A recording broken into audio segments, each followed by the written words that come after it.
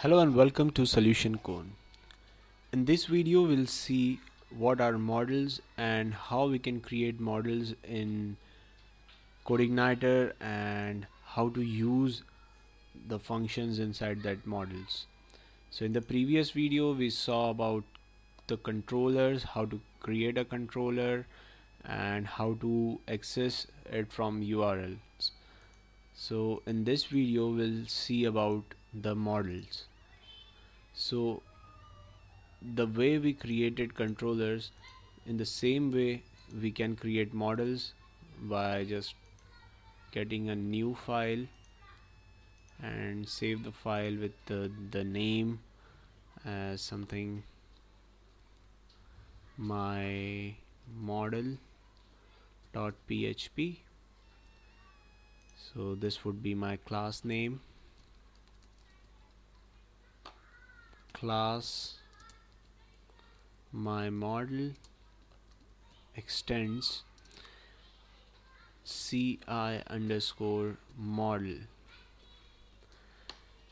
So the declaration of the classes in model and controller are quite similar.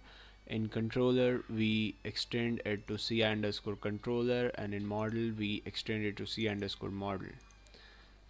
And inside the models we create function public function and your first function first name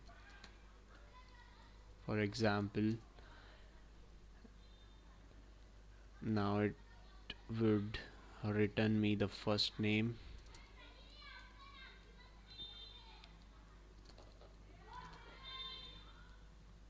Okay now let us load this in the view my controller. And here instead of the test I'm going to use this thing. So the things which are necessary to make a model is the file name. The file name and the class name should be the same with the first letter caps so this is a basic convention and other than that everything is same as a controller. So any public function in the model can be accessed in the controller uh, easily. But if the method uh, if any private method has been declared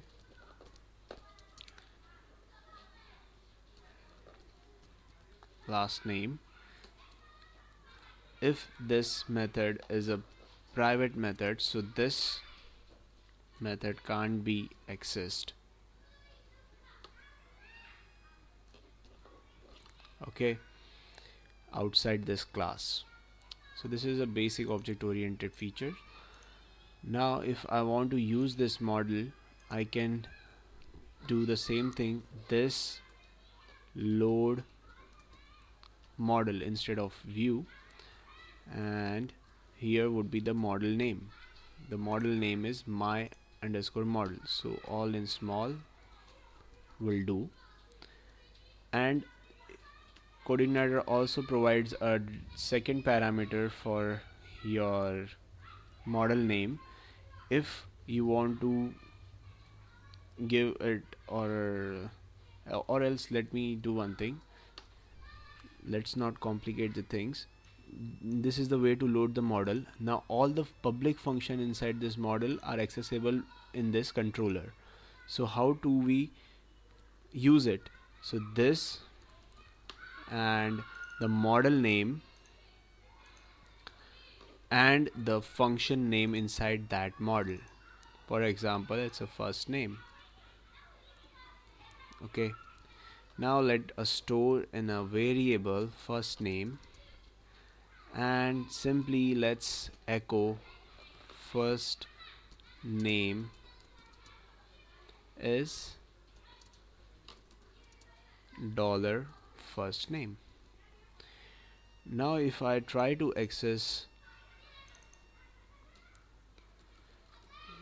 my controller slash test. So here we get first name is Akshay okay?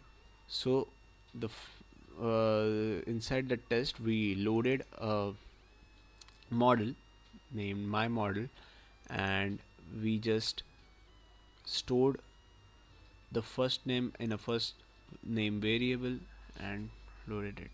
Now let's try to do the same thing for the last name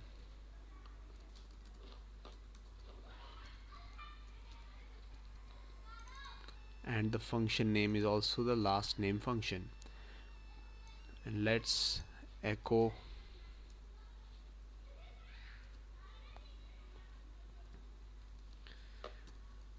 Let's echo the last name.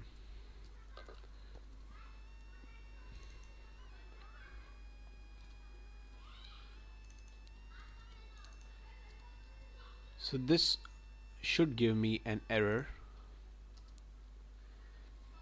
and you can see the error call to a private method in my model last name. So this gives you clear indication that the last name is a private method and can't be accessed in the controller. So in order to do that you can do one thing. You can just uh, make it as a public or if you can't make it as a public you can just call this method from here.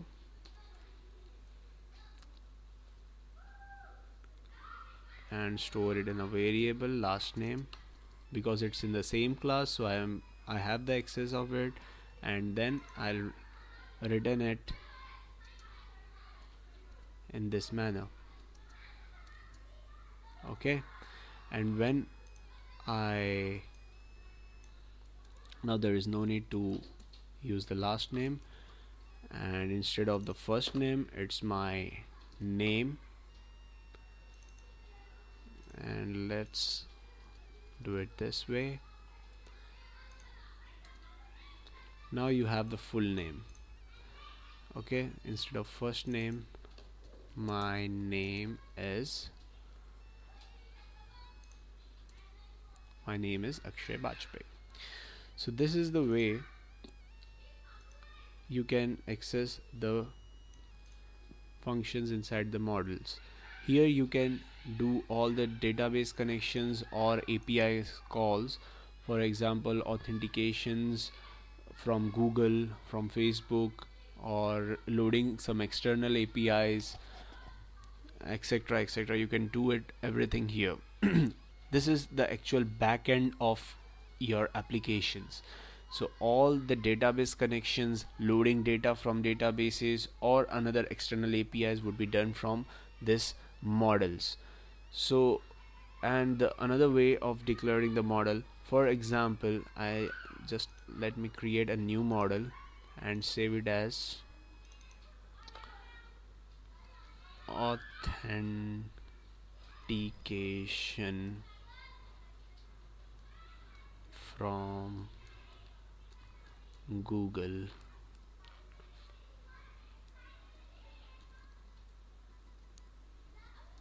Google.php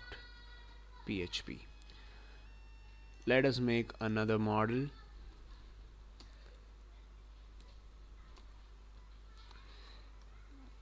And the same way a class which extends ci underscore model.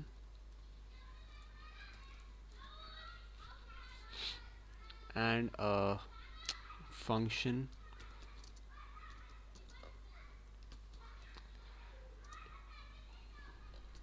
User data.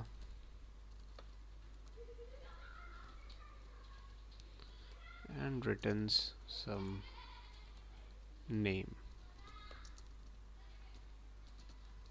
okay.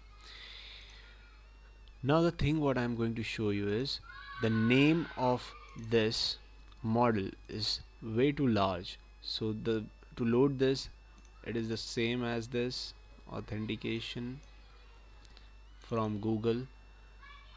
And now the name uh, this would be here. The object is here now the object name authentication from Google it's way too big. So in CodeIgniter you also have the facility to make it small like Google.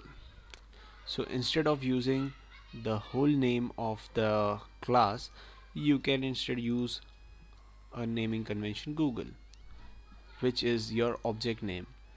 So basically what does this line of code do is it will create an object of authentication from Google and name the object as Google.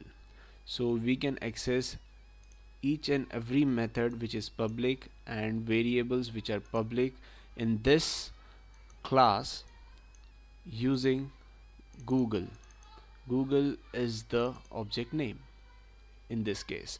So object name and this is the function name. So this is used to store the whatever value has been written. So I hope this is clear. And if you have any queries please feel free to comment below. And thank you guys. Please keep liking and sharing. Thanks